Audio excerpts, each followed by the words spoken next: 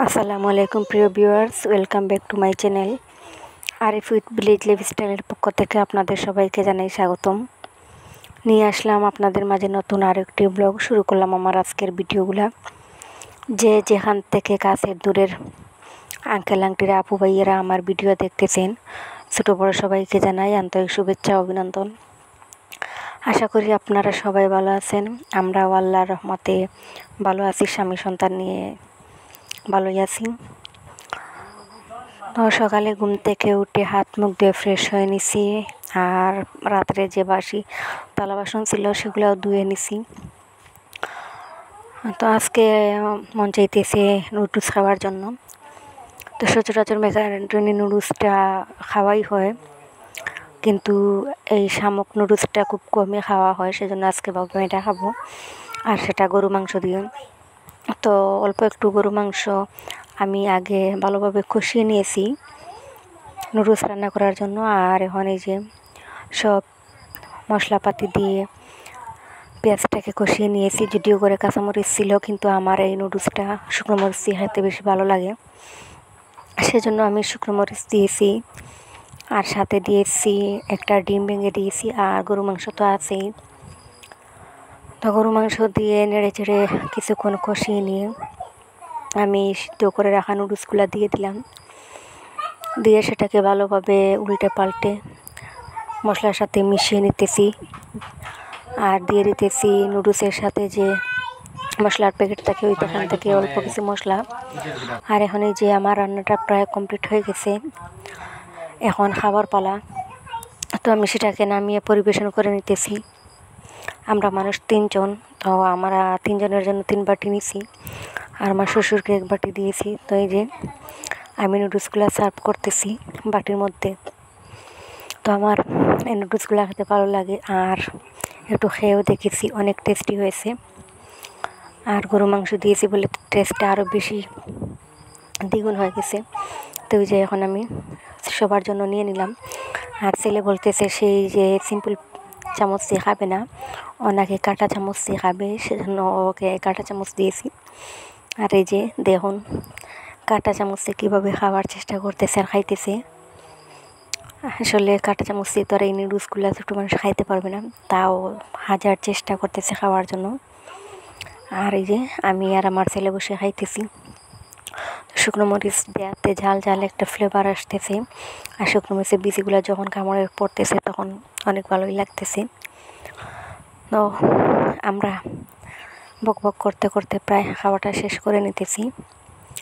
আর পাশে বসে ছেলের আব্বু খাইতেছে উনি আর ভিডিওতে আমি আনি নাই ওনাকে উনি ওনার মতো করে খাইতেছে।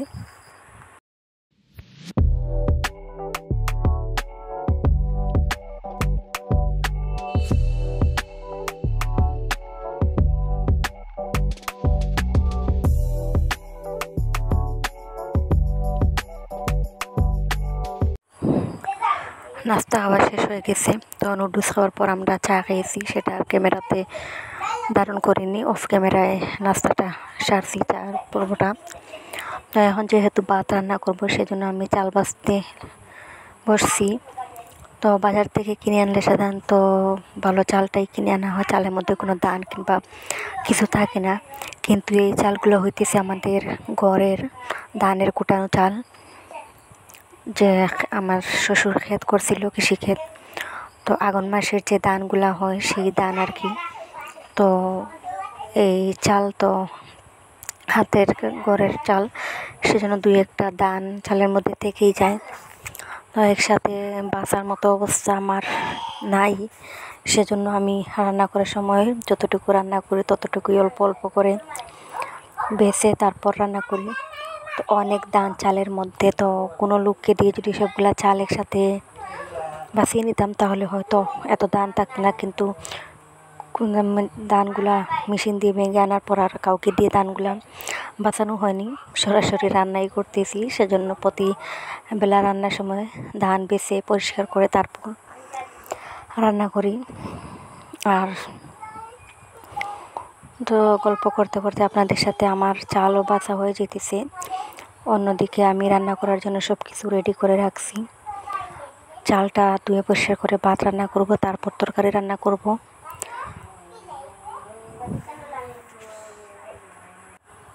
তো এই দানগুলো একটু বেছে নিতে কষ্ট হলেও এই চালের ভাত কিন্তু অনেক খেতে সুস্বাদ্য হয়। যারা নিজেদের ক্ষেতের ধান দিয়ে ভাত রান্না করে খেয়েছেন তারা এর স্বাদটা উপভোগ করতে পারবেন। বাজারে কেনা চালের থেকে এই ভাতটা অনেক বেশি ভালো লাগে খাইতে। আর এই চাল দিয়ে পিঠা বানালে তো আরও বেশি ভালো লাগে নতুন চালের পিঠা খেতে, সেই রকম ভালো লাগে। তো পিঠা খাওয়া হয়েছে এই ধান দিয়ে অনেক আগে। এই কিছুদিনের মধ্যে আর খাওয়া হয়নি, যেহেতু এখন ধান প্রায় শেষের পর্যায়ে। এখন আবার নতুন করে ক্ষেত করা হবে, তারপর নতুন করে ধান পাওয়া হবে। তো আপনাদের সাথে গল্প করতে করতে আমার চালটা বেছে নেওয়া শেষ হয়ে গেছে, আর রান্নাটাও প্রায় অর্ধেক হয়ে গেছে। আলু দিয়ে গরু মাংস রান্না করতেছি। তো নুডলস রান্না করার জন্য ফ্রিজ থেকে মাংস বের করছিলাম। ভাবলাম যেহেতু রান্নাই করব, তো একটু বেশি পরিমাণে বের করে নিই, একটা তরকারিও রান্না করে নেব। আর সব থেকে তো আলু দিয়ে গরু মাংসটা বেশি ভালো লাগে, ভালো যায়। সেজন্য আলু দিয়ে রান্না করলাম গরু মাংস। আর এখন রান্না করব ডিম। তো এটাই আজকের দুপুরের খাবার আর রাতের খাবার।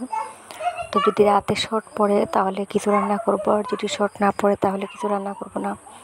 এটাতেই হয়ে যাবে। সকালে প্রতিদিন আমরা দুই বেলা খাই না, কখনো মাঝে মধ্যে দেখা যায় দিনে দুই বেলা খাই, আর না হলে এক বেলাই খাওয়া, পরে সকালে নাস্তা, তারপর দুপুরে তো আবার চাই আছে খাওয়া হয়, আর রাতে ভাত খাওয়া হয়। তো এই যে আমি কড়াইতে হলুদ, লবণ দিয়ে ডিমগুলাকে বেজে নিতেছি। আমরা মানুষ তিনজন, সেজন্য তিনটাই ডিম নিছি। তো ডিমগুলোকে ভালোভাবে উল্টিয়ে পাল্টিয়ে তেলে বেজে লাল করে নিতেছি। যত বেশি লাল হবে, তত বেশি দেখতে ভালো লাগবে, সেজন্য আর কি। তো আমি আগেই ডিমের সাথে দুই একটা আলুও সিদ্ধ করে রেখেছিলাম। সেটা আর আস্ত দেবো না, আলাদাভাবে ভেঙে দিব। এই যে এখন মশলাগুলা কষিয়ে নিতেছি, তো পেঁয়াজটাকে ভালোভাবে লবণ দিয়ে আমি কষিয়ে নিয়েছি, আর এখন দিয়ে দিতেছি গুঁড়া মশলাগুলা, ধনিয়া গুঁড়া, তারপর গুঁড়া, মরিচের গুঁড়া, হলুদ গুঁড়ো সবগুলো একে একে দিয়ে মশলাটাকে কিছুক্ষণ ভালোভাবে কষিয়ে নেব মশলার কাঁচা গন্ধটা না দেওয়া অবধি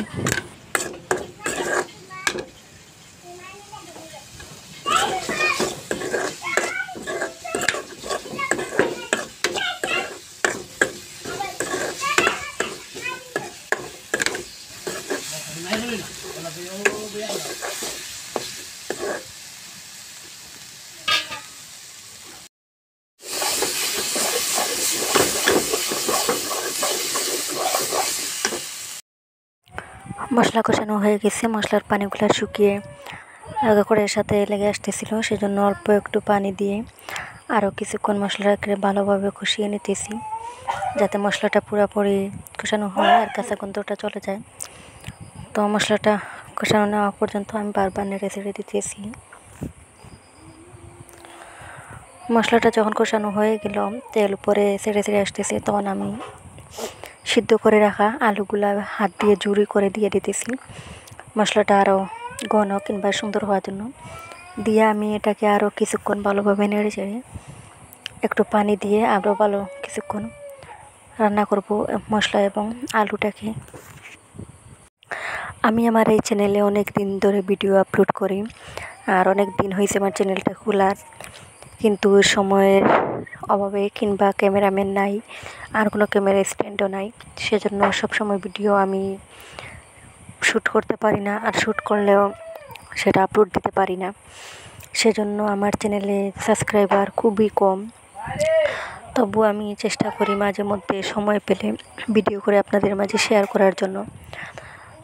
আপনাদের যদি একটু হলেও আমার ভিডিওর কোনো কিছু ভালো লেগে থাকে, আমার ভিডিওর কোনো কিছু আপনাদের মনে ভালো লাগার কারণ হয়ে থাকে, তাহলে আপনাদের কাছে অনুরোধ থাকল আমার চ্যানেলটাকে সাবস্ক্রাইব করার জন্য আর চ্যানেলের পাশে থাকা বেল আইকনটি অন করার জন্য। আমার আজকের ভিডিও এতটুকুই। আবার আপনাদের মাঝে নিয়ে আসব নতুন কোনো ভিডিও। সেই পর্যন্ত সবাই ভালো থাকবেন, সুস্থ থাকবেন। আল্লাহ হাফিজ। আলাইকুম।